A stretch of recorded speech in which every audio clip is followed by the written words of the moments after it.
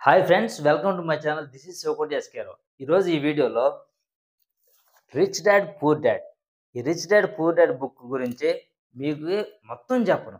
Just అసలు ఎందుకు ఒక మనిషి రిచ్ అవుతాడు ఒక మనిషి ఎందుకు పేదవాడుగానే ఉండిపోతాడు అంటానికి జస్ట్ ఒక ఫైవ్ మినిట్స్లో మీకు ఈ బుక్ గురించి ఈ బుక్లో ఉన్న డేటా గురించి అయితే మీకు చెప్తాను.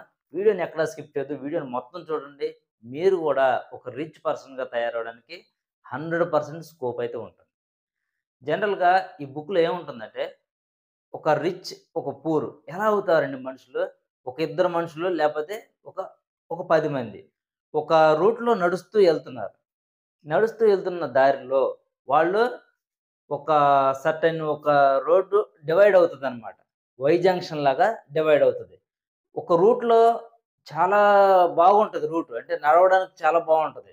ఎక్కడా కూడా గడ్డి పరకలు కానీ జస్ట్ ఎక్కడన్నా ఏదైనా ముళ్ళు కంపలు కానీ అలాంటి ఏమీ లేకుండా చాలా బాగుంటుంది అనమాట అంటే కంఫర్టబుల్గా ఉంటుంది రోడ్డు మీద వెళ్ళడానికి ఆ రోడ్డు మీద ప్లస్ ఇంకొక దాన్ని దాని కాకుండా వై జంక్షన్ ఇంకొక రోడ్డు ఉంటుంది.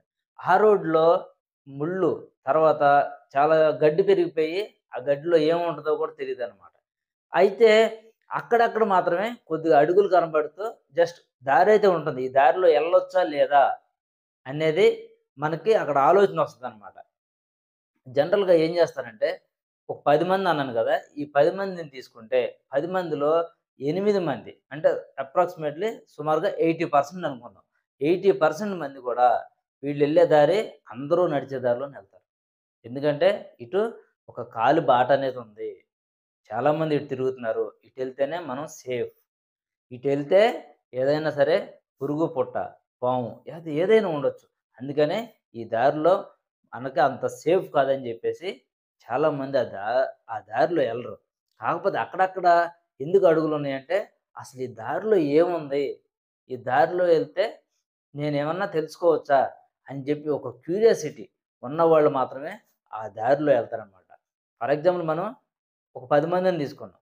పది మందిలో ఎనిమిది మంది ఇటు వెళ్తే ఒక ఇద్దరే ఇటు వెళ్తారనమాట ఇటు ఇద్దరు వెళ్ళారు చూసారా? వాళ్ళిద్దరూ ఖచ్చితంగా ధనవంతులు అవుతారు ఇటు వెళ్ళిన ఎనిమిది మంది పేదవాళ్ళుగానే ఉండిపోతారు.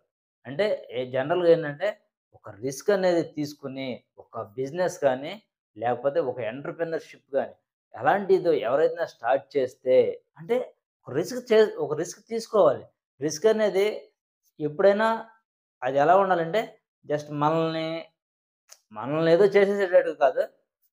జస్ట్ మనం అది చేయగలమా లేదనేది ప్రూవ్ చేసుకోవడానికి వీలుగా ఉన్నటువంటి రిస్క్ని మనం చేస్తే ఇక్కడ ఇద్దరే నడిచిన బాటలాగా అంటే అక్కడక్కడ అడుగులు మాత్రం ఉన్న దారి ఏదైతే ఉందో ఆ దారిలో వెళితే ఖచ్చితంగా సక్సెస్ అవుతారు. అందు గురించే మన దేశంలో కానీ మన రాష్ట్రంలో కానీ ఈ లేకపోతే ఈ భూమి మీద కానీ ఎక్కువ మంది పేదవాళ్ళు ఉండటానికి కారణం ఏంటంటే ఎక్కువ మంది అందరూ నడిచే దారిలో అంటే ఎనభై శాతం మంది నడిచే దారిలోనే నడవాలి అదే సేఫ్ అని నమ్మి అలా పేదవాళ్ళుగానే ఉండిపోతారని ఈ బుక్ అయితే మనకు చెప్తుంది. అదేవిధంగా ఎవరైతే ఒక ఇద్దరు మాత్రం ఇటు వెళ్ళారో వాళ్ళు కొద్దిగా కష్టపడి కాస్తంత ఇబ్బంది అయినా కూడా ఇబ్బంది అయినా కూడా అదే దారిలో నడిచి వాళ్ళు సక్సెస్ అయ్యారు సక్సెస్ అవుతారు అని చెప్పడానికి ఈ బుక్లో ఉన్నటువంటి ఒక సారాంశం అయితే అది.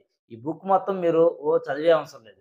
జస్ట్ ఈ బుక్ని మీరు ఒకవేళ వింటూ వింటూ దాన్ని చదవాలి అంటే చదువుతూ ఉంటారు. అది వింటూ ఉండాలనుకుంటే మన కుకు ఎఫ్ఎం లాంటి దాంట్లో జస్ట్ మనకి ఫార్టీ నైన్ రూపీస్ ఏమైనా డిస్క్రిప్షన్ అది ఉంటుంది సబ్స్క్రిప్షన్.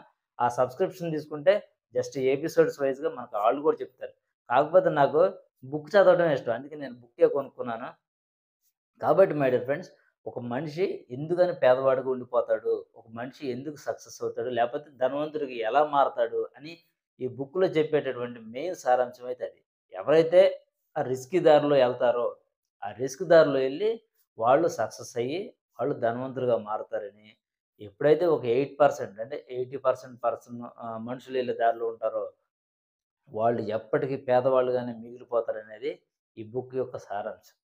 ఇది మీ- ఈ వీడియో మీకు నచ్చిందని అనుకుంటున్నాను. ఈ వీడియో నచ్చితే లైక్ చేయండి షేర్ చేయండి ఛానల్ సబ్స్క్రైబ్ చేసుకోండి. Thank you for watching.